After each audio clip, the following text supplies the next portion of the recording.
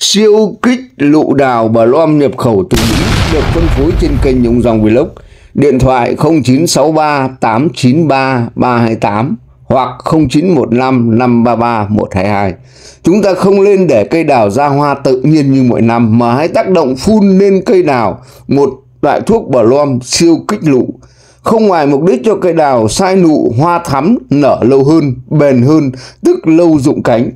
Hãy áp dụng công nghệ 4.0 cho cây đào miền Bắc để cây đào có giá trị tăng lên không ngoài mục đích phục vụ khách hàng quý tỵ xuân 2025.